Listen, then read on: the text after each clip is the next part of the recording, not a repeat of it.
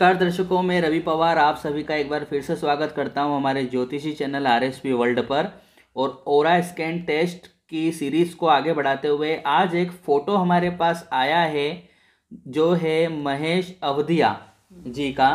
ये शहडोल ज़िले मध्य प्रदेश राज्य से हैं और इन्होंने ये ओरा स्कैन टेस्ट करवाना चाहते हैं अपना। तो इन्होंने ये फ़ोटो हमें व्हाट्सएप किया हुआ है और आज हम जानते हैं कि ओरा स्कैन टेस्ट मशीन इनके बारे में और इनके ग्रहों के बारे में इनकी एनर्जी के बारे में क्या कहती है। तो हमेशा की तरह टेस्ट करने के लिए एक बार फिर से हमारे साथ स्टूडियो में मौजूद हैं श्रीमती मधु छावड़ा जी जो कि एस्ट्रोलॉजर हैं और औषधि द्वारा ग्रहों का भी इलाज करती हैं और जो है रोगों का भी इलाज करती है। तो मैम आपका एक बार फिर से स्वागत है हमारे स्टूडियो में और आपको भी हमारे ही तरह लोग सारे पसंद कर रहे हैं। आप कुछ कहना चाहेंगी? धन्यवाद सबको। जी।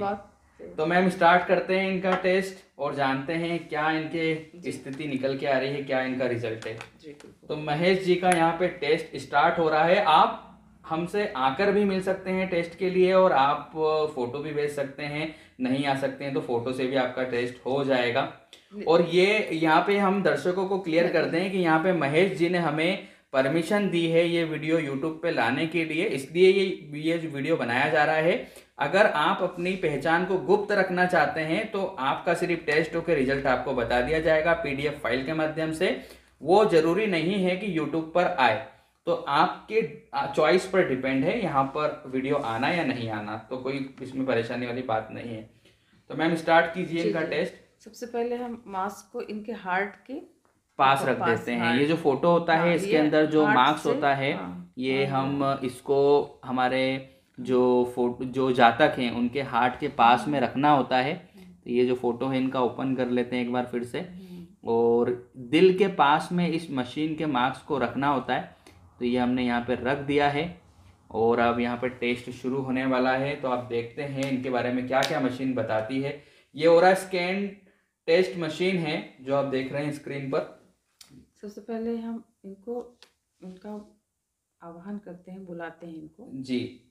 मतलब इनकी तरंगों को हम बुलाते हैं क्योंकि यहाँ पे फ़िज़िकल तो है नहीं इनका फ़ोटो आया है तो हमें इनकी तरंगों को बुलाना पड़ेगा इनकी बॉडी की तरंगों को ताकि वो यहाँ तक मशीन तक आ जाए वर्चुअल रूप में।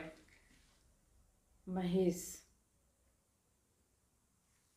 हाँ तो यहाँ पे जातक का नाम पुकारा गया है महेश। देखिए अभी मशीन में कोई मूवमेंट नहीं है इसलिए इनकी तरंगे यहाँ तक अभी तक पहुँची नहीं है। महेश। हाँ जी दूसरे का तो और यस हाँ। यहाँ पर ये आ गई है है? इनकी तरंगे। ये महेश है? और मशीन ने हमें संकेत दिया है यस में। क्या इनका नाम महेश अवधिया है? यस हाँ? इनकी पॉजिटिव एनर्जी राइट की तरफ़ अगर टर्न होता है तो पॉजिटिव है हाँ, लेफ़्ट की तरफ़ में करीब सिक्सटी जी इनकी करीबन सिक्सटी परसेंट की पॉजिटिव एनर्जी यहाँ पे हमें शो करी है मशीन द्वारा ओरा टेस्ट मशीन द्वारा। जी। हार्ड कॉपी ज़्यादा अच्छा है तो इसलिए पॉजिटिविटी। पॉजिटिविटी कितनी है इनकी? करीबन सिक्सटी परसेंट की पॉजिटिविटी है। ग्रह पूछते हैं इनको क्या इनका सूर्य ग्रह? यहाँ पे ग्रहों का टेस्ट शुरू हो गया। सबसे पहले सूर्य ग्रह की बात करें तो पॉजिटिव आया है। कितने परसेंट? फिफ्टी। परसेंट पॉजिटिव है महेश जी का सूर्य सूर्य ग्रह चंद्र ग्रह पॉजिटिव है। कितने परसेंट है? फिफ्टी परसेंट पॉजिटिव है। मंगल। मंगल ग्रह की बात करते हैं। मंगल ग्रह भी पॉजिटिव है। कितने परसेंट है? की तरह से इसमें डिस्टर्बेंस आ जी वो यहाँ पर ये जो फ़ोटो है इसको एक बार फिर से ओपन कर लेते हैं और आपको बताते हैं सब कट कर दीजिए अब इसमें आगे जानकारी लेते हैं महेश जी के बारे में और। देखिए आप यहाँ पर जो मशीन काम करती है एक मिनट में मैं आपको रोकना चाहूँगा। यहाँ पे जो मशीन काम करती है वो हमें यहाँ पे डिजिटल रूप से भी प्रभावित करती है। आप मोबाइल की स्क्रीन पर देख सकते हैं कि किस प्रकार उनके फ़ोटो में थोड़ा सा हलचल हो रही है। ये तरंगों पे काम करती है जो ओरा स्कैनर मशीन होती है। तो चाहे व्यक्ति यहाँ पर हो या उसका फ़ोटो हो उस उसमें भी आपको कुछ गतिविधियाँ नज़र आ जाएँगी। जैसे कि आप फ़ोटो पे देख सकते हैं उस फ़ोटो में थोड़ी सी हलचल हो रही है। तरंगों के कारण ये तरंगों के शक्ति से सब होता है। अब हम इनके कौन से ग्रह के बारे में जान रहे हैं? मंगल। मंगल ग्रह। हाँ, इनका मंगल ग्रह पॉजिटिव है। यस पॉजिटिव है। कितने और ये फिफ्टी परसेंट ये करीबन थर्टी परसेंट यहाँ पे मंगल ग्रह इनका पॉजिटिव आया है। वीक कह सकते हैं वीक है ये मंगल अभी तो ट्वेंटी हो गया है ये। तो इनका जो मंगल ग्रह है वो 20, ट्वेंटी परसेंट जी ट्वेंटी से 25 थर्टी फाइव के बीच में ही पॉजिटिव है। बुध ग्रह की बात कर लेते हैं। बुध। बुध ग्रह पॉजिटिव है कितने परसेंट हंड्रेड परसेंट पॉजिटिव है। इनका जो काम है वाणी से रिलेटेड काम है और उसमें इनकी सफलता मिल रही है अभी। है। जी क्योंकि क्या बुध इनका- अच्छा है। गुरु ग्रह पॉजिटिव गुरु ग्रह की यहाँ पे बात हो रही पॉजिटिव है अभी। फिफ्टी परसेंट गुरु ग्रह भी इनका पॉजिटिव आ गया है। जी का शुक्र ग्रह शुक्र ग्रह की बात हो रही है पॉजिटिव है। कितने परसेंट है देख लेते हैं। हंड्रेड परसेंट अच्छा पॉजिटिव है। क्योंकि काम भी अच्छा चल जी इनका जो बुद्ध और शुक्र से संबंधित काम है हाँ, अच्छा। जो ये कर रहे हैं अभी। शनि ग्रह की बात करते हैं। शनि ग्रह। शनि ग्रह पॉजिटिव है। कितने percent fifty fifty percent positive है। क्या इनका राहु ग्रह पॉजिटिव है? राहु ग्रह यहाँ पर नेगेटिव आए हैं इनके। और कितने परसेंट हैं? फिफ्टी परसेंट नेगेटिव हैं।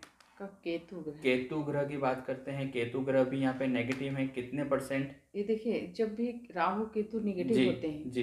ये पितृदोष का संकेत देते हैं। पितृदोष का संकेत देते हैं। राहु ग्रह फिफ्टी परसेंट नेगेटिव पितृदोष राहु और केतु के कारण ही होता है। उत्पन्न होता है। विशेष रूप से। अब हम इनके बारे में और जानकारी हाँ, लेंगे इस टेस्ट में। पूछते हैं कि पितृदोष दो पक्ष से आता है। जी। मातृपक्ष से और पितृपक्ष से जी। है ना?